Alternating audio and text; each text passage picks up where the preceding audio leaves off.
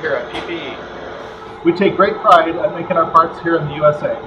To do so, we use the Mori Seiki NLX 2500SY. This particular machine is outfitted with specific options that allow us to produce a variety of parts such as these. Today we're doing a run of drain plugs. We're going to show you how we take a round bar stock 304 stainless and turn it into a part like this. Our Mori Seiki is a dual spindle CNC lathe with live milling capabilities. Let's take a look inside and see how parts are made. The primary spindle holds up to 4 feet of bar stock.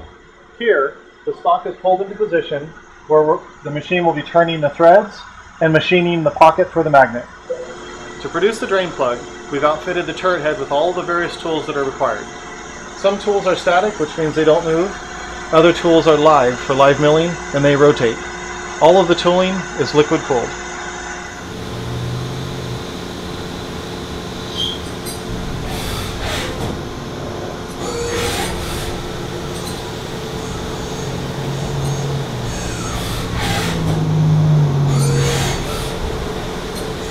The O-ring groove, threads, and magnet pocket have been cut. At this point, the part will automatically be transferred from the primary spindle to the sub-spindle. The drain plug is transferred from the primary spindle to the sub-spindle, and we'll be producing the hex head along with the PPE engraving.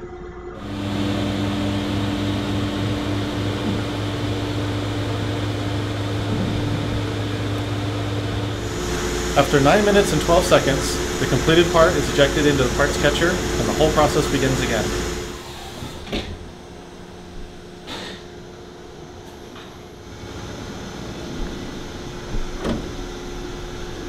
There's a few steps left in the process and we're going to show you that next. While the drain plug is manufactured on a quarter of a million dollar Mori Seiki machine, the last step of the procedure is fairly low tech. This is where we insert the neodymium magnet into the drain plug. We'll be using an arbor press. We insert the drain plug into the holder, put the magnet on the ram,